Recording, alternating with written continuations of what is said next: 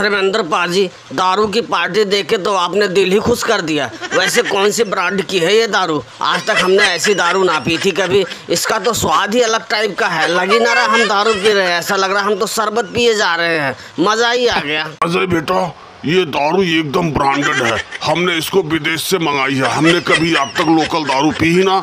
हम किसी का खून भी पीते थे तो ब्रांडेड देख के पीते थे। तो ये तो फिर दारू है। देखना आराम से पीना कहीं ये चढ़ती बहुत तगड़ी है। पता लगे जाके घर पे काजल से पीटो। और भैया प्रेस जी थोड़ा संभाल के पीना उम्र हो चुकी है कहीं चढ़ जाए। अरे तू डाल ना बाबा क्यों बकवास करे जा रहा है? उम्र ही तो बुढ़ी हुई है। अभी दिल एकदम जमा है। जितने ये चारों लौंडे बैठ के पियेंगे ना उतना तो हम अकेले ही पी लेते हैं। तू डाल तू डाल ना बाबा। ओए जमान संभाल के बात कर। ये बता हमसे दारू ज़्यादा कौन पी सकता है इस इलाके में?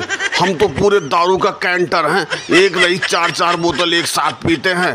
तू कैसी बात कर रहा है? ये ढाई किलो का हाथ देखा है। एक बार गिरेगा तो उठेगा नहीं, सीधा उठ जाएगा, समझ आया? अरे सनी देओल बेटा तुझको लग रहा है चढ़ गया। इसीलिए बोलता हूँ थोड़ा पिया कर थोड़ा पिया कर लेकिन तू मानता ही नहीं है अपनी मर्ज़ी का करता है।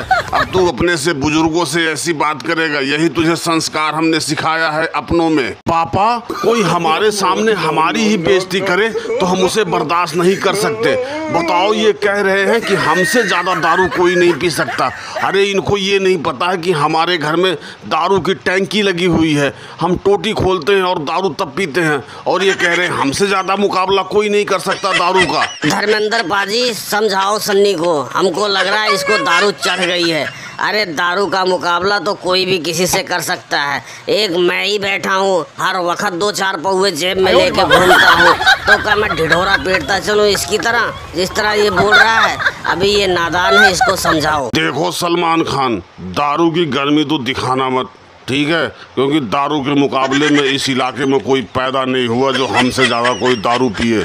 और तुम अगर जो मुकाबला करना चाहते हो तो आ जाओ मैदान में।